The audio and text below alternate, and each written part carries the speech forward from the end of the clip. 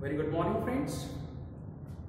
Welcome to our geological zone. Today we will deal with the concept of phase rule. Okay.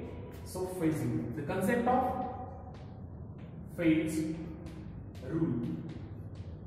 So before start phase rule, first we will deal with the concept of phase. First we will deal with the concept of phase. The phase is a chemically chemically and physically. Chemically and physically distinct distinct and separable part separable part of a system known as phase then the component component may be defined as the chemically chemically distinct species needed to describe needed to describe the system. Means depends on the number of phases and the number of components. So phase rule the expression for phase rule is f is equal to c minus p plus 2 okay where? Where f means the degree of freedom. F means the degree of freedom c means the number of components. C means the number of components. And p means the number of phases. The number of phases means the phase rule mainly consisting of the number of components and the number of phases. On the basis of number of component and the number of phases we calculate the degree of we calculate the degree of freedom. First we will explain the water system. First we will explain the water system. Water system.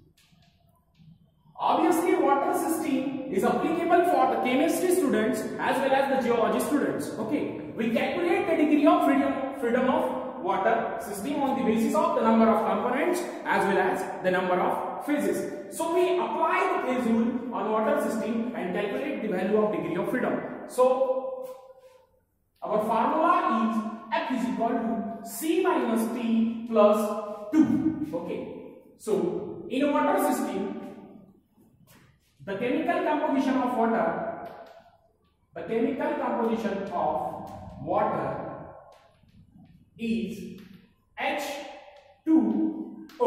Okay, means water system mainly consisting of only one component, means C is equal to 1. Then the number of phases, the number of phases present in water system is equal to 3 means 3 phases like solid, liquid, solid, liquid and gas.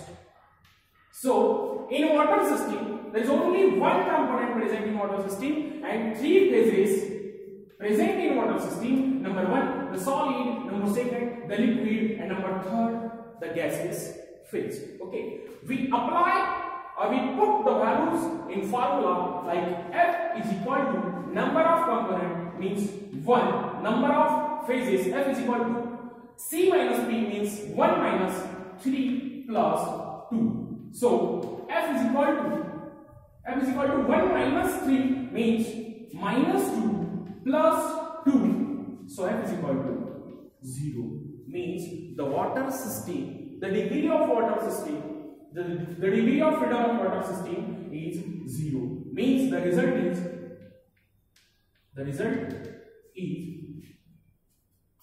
the system, the water system, water system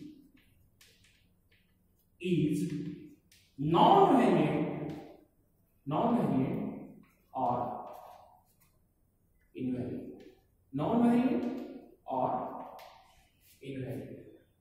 So this is about the water system and the degree of freedom for water system on the basis of phase rule. We apply the phase rule on silica system also.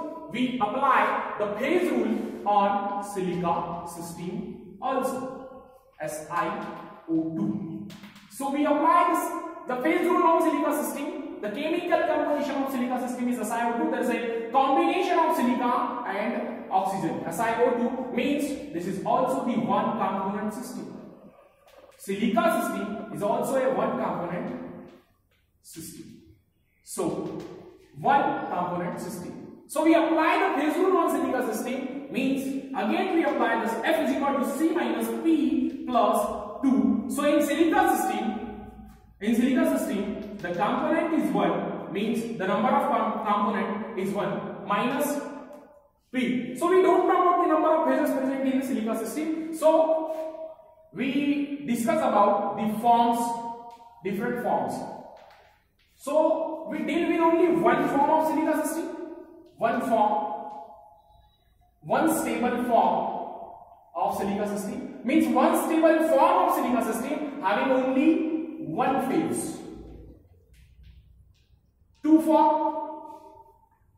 having two phases and three forms having three phases. So we will deal with the one phase only in silica system. We will deal with only one phase in silica system means F is equal to 1 the number of component then number of phases number of phases is also 1 means 1 minus 1 plus 2 is equal to 0 plus 2 means the answer is 2. So F is equal to 2 the system is divariant. The system is divariant just because of the number of phases present in the system is 1. Okay, we apply the number of phases 2 also and 3 also in the silica system. So, this is about the phase rule. Phase rule, we apply the phase rule on water system also just because of the physical chemistry and we apply the phase rule on silica system just because of the geology. Means there are two examples of phase rule. Number one, the chemistry.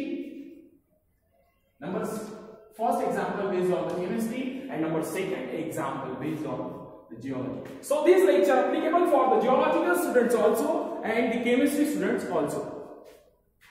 Thanks a lot guys. Please like, subscribe and comment.